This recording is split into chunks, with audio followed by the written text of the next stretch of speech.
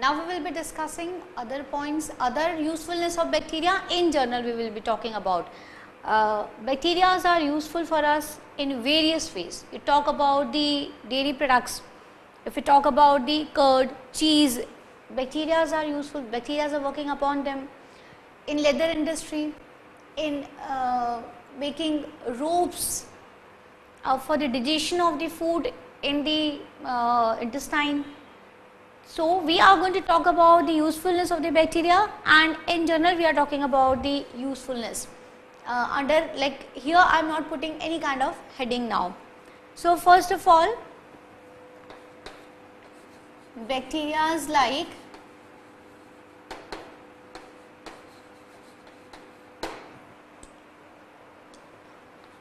Mycoderma aceti, Mycoderma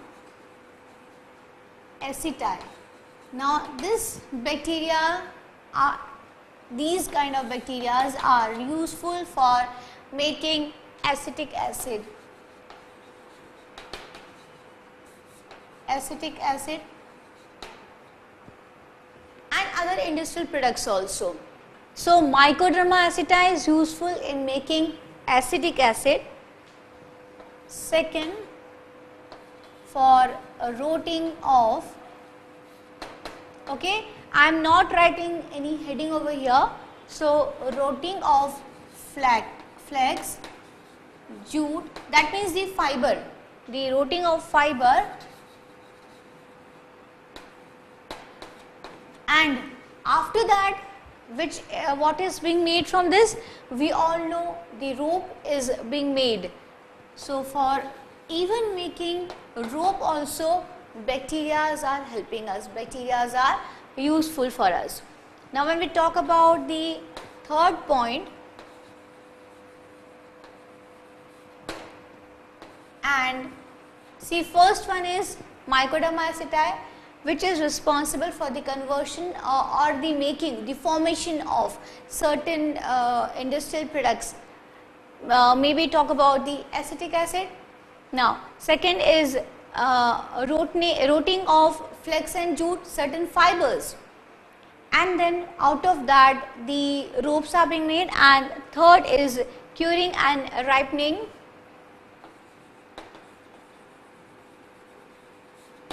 Of tea.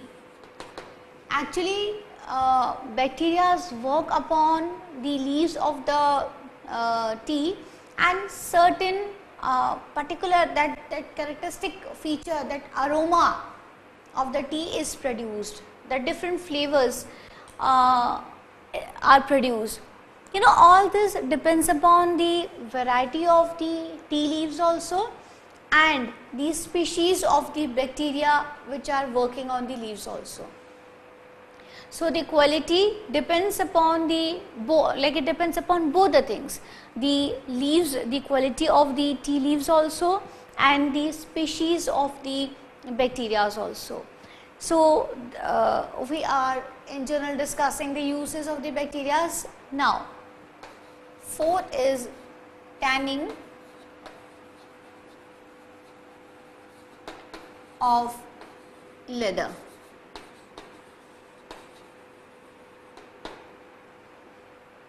In leather industry also bacterias are very very useful.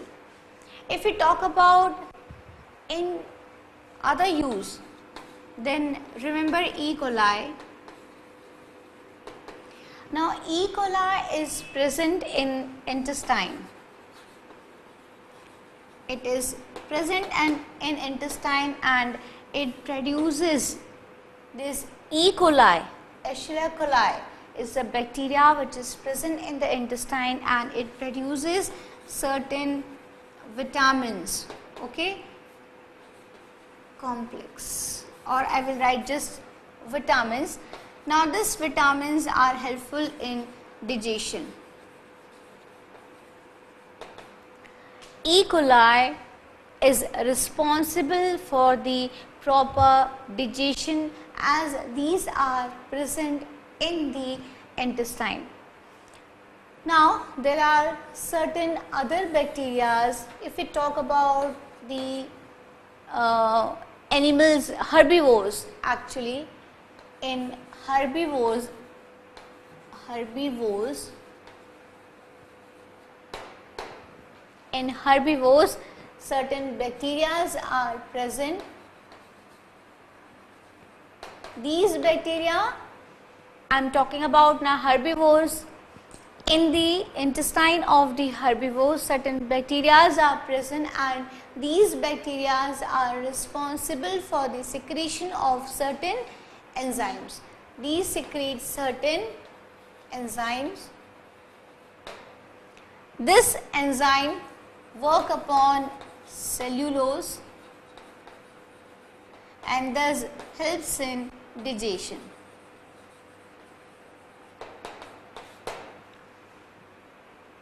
This is all about the usefulness of the bacteria.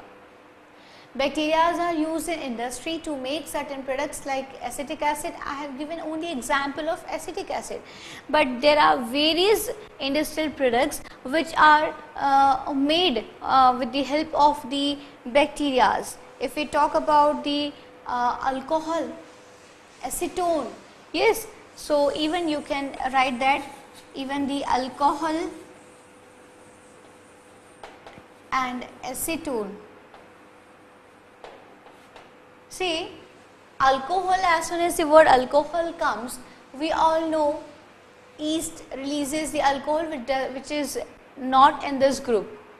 But there are certain bacteria, definitely there will be difference in the quality and the, uh, you know, the, uh, the alcohol will be different. But certain chemicals are formed certain bacteria are responsible for making alcohol as well as acetones also.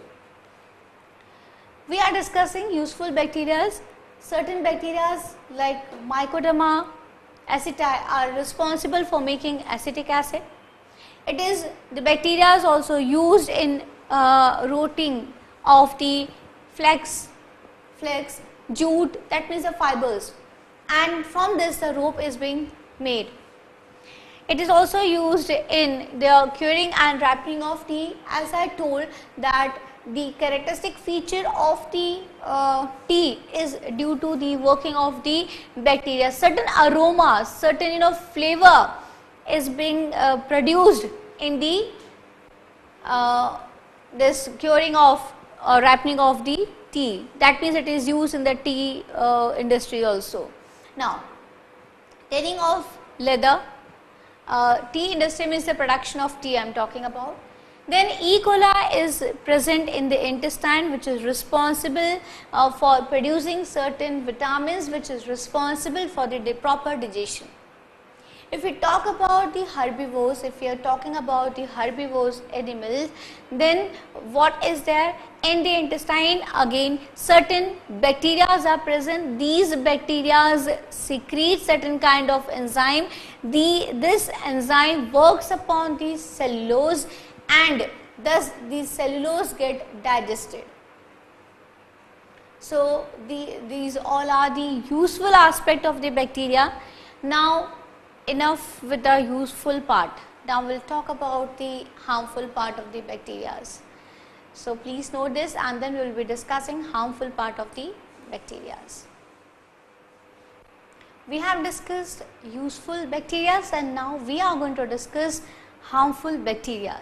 So I will be writing over here harmful bacteria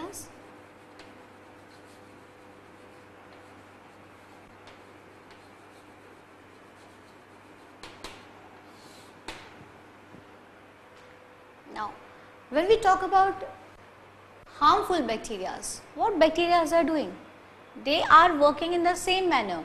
They are decomposing the things, they are dividing the things, they are converting the organic substances into the simpler one.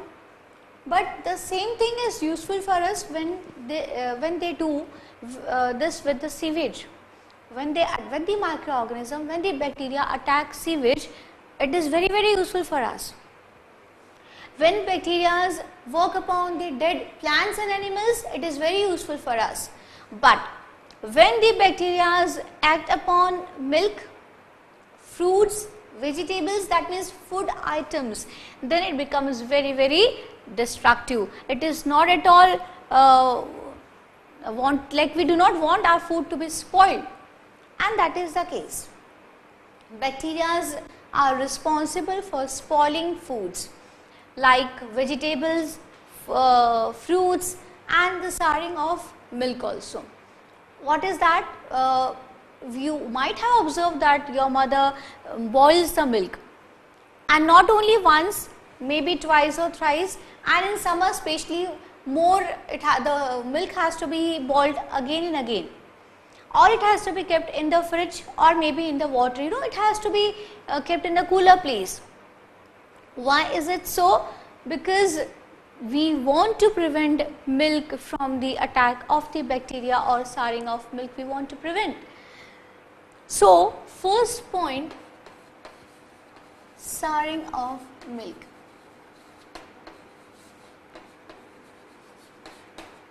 And even when the bacteria spoil? What does they spoil? Food items like vegetables and fruits. Vegetables and fruits are spoiled by the bacteria and we do not want that. That is the reason we keep them in the cooler place. That also we are going to study under the heading of preservation of food. But at present we are talking about the harmful activities of the bacteria. So the biggest harm is what? the souring of milk, that means the spoiling of food items. And now sometimes this spoiling doesn't just remains to the spoiling. Food is spoiled, okay, we will throw it. But many a times this spoiling increases to a limit that the food if it is consumed by mistake then it becomes it is it becomes poisonous and it is very very dangerous for the animals or the plants whosoever consume the particular food. And this food poisoning generally happens with the sealed food, the food which comes in the tin containers.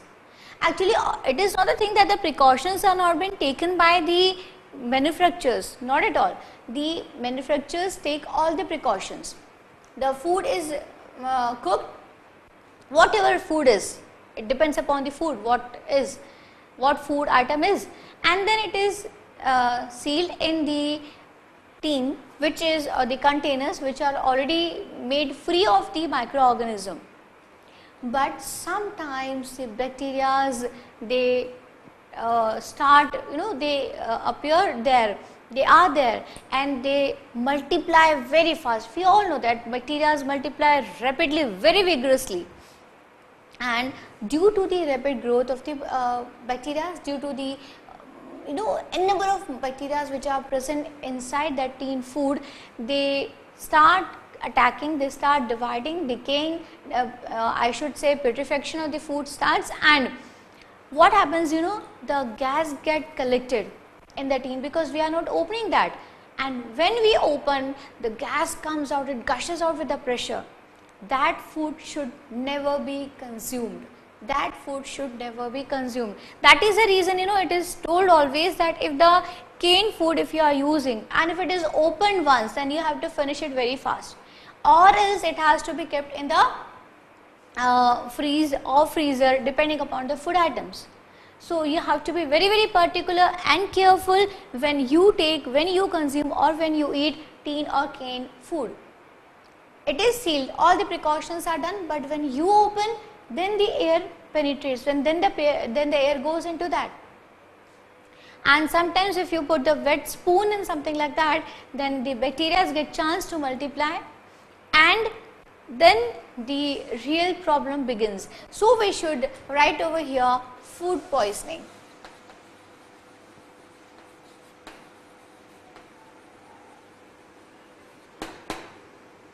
Which is very very dangerous and here the bacteria which are responsible there are many bacteria which are responsible for food poisoning but the there are certain bacteria which are specially known for this is one of those I can write over here is staphylococci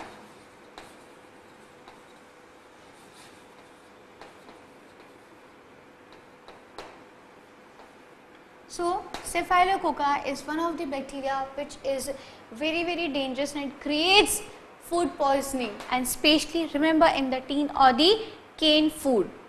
So, if you consume cane or teen food there is no harm in eating but be careful that when you open it once then it has to be taken care of.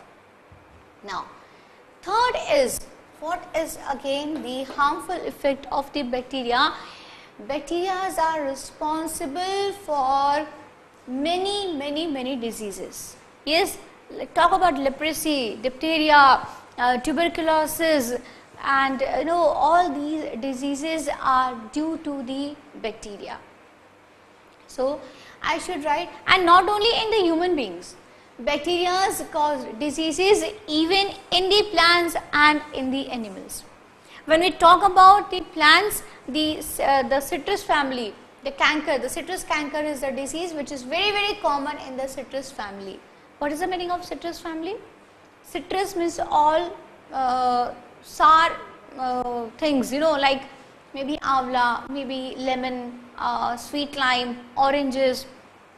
So, bacteria is not only responsible for giving uh, or creating or you know certain diseases in the human beings but they also spread diseases in plants and animals. When we talk about plants there are many diseases uh, which are being spread by the bacteria.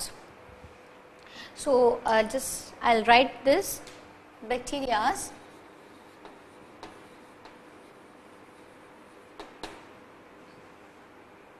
are responsible for the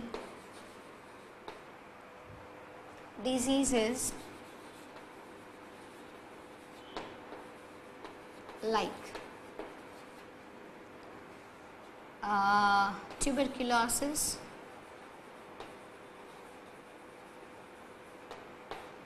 leprosy, there is no place to write now but uh, diphtheria, pneumonia, I will write over here, pneumonia, diphtheria uh, and uh, cholera etc. These all diseases are caused due to the bacteria. If we talk about the disease in the plants, just now I told that the bacteria are responsible for the spread of diseases in plants as well as animals. If we talk about animals, then in animals this one is in human beings. This one is in humans. If we talk about animals, then tuberculosis is very very common. And even anthrax you know it is also very common. Anthrax is also very common in few animals. And anthrax uh, tuberculosis symptoms we all know. Anthrax give rise to swelling of certain body parts. Okay swelling of certain body parts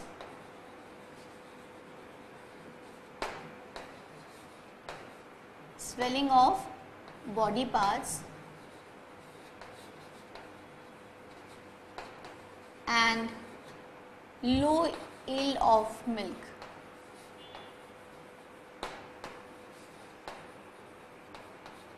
That means the milk giving capacity of that particular animal get decreased and the body, particular body organ also get swollen.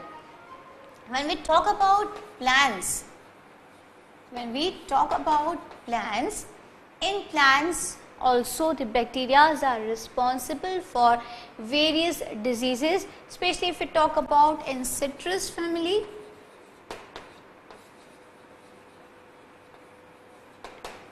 the citrus canker is very very common. So, these all are the harmful aspects of the bacteria. We know bacteria are very very useful. See every part has got certain useful and the unuseful uh, you know the parts uh, everything good and bad aspects are there. So, we have discussed both in bacteria if we talk about harmful if we have to gist out. So, it is responsible for the souring of milk, milk spoiling of food items, it, it give rise to certain diseases in humans, in animals, in plants also. It also, uh, bacteria are also responsible for the food poisoning. And if we talk about diseases, certain diseases are really, you know, uh, very, very uh, dangerous and uh, we talk about if human beings also. Okay. So, these are the certain points, certain harmful aspects of the bacteria. We have discussed everything about the bacteria. We started this lesson with the microorganism. What are microorganism? Minute structures which cannot be seen by the open eyes.